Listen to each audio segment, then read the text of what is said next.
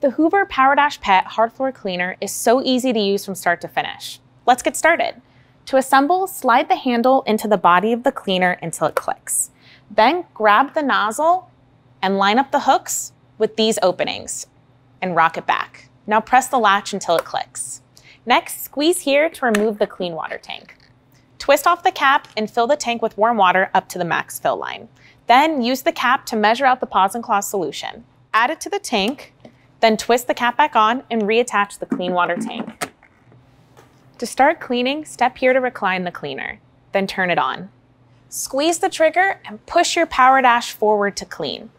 Release the trigger and slowly pull back to dry. The fast drying system will squeegee and suction up that water. Keep going to clean the whole area. When the dirty water tank is full and needs to be emptied, your PowerDash will stop suctioning up water and you'll hear the motor sound change. Squeeze here to remove the dirty water tank.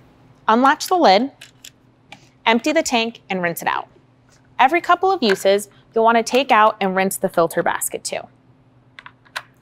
Reattach the lid and reinsert the tank to continue cleaning. Or if you're done cleaning, empty and rinse the clean water tank as well, allowing everything to air dry.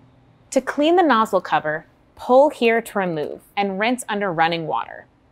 And to clean the spin scrub brushes, pull these tabs away from the cleaner to release and pull out the brushes. Rinse them under water and allow them to dry. Reinsert them by aligning this post with the hole underneath. Push until the brush is firmly into place until you hear it snap. Then reattach the nozzle cover.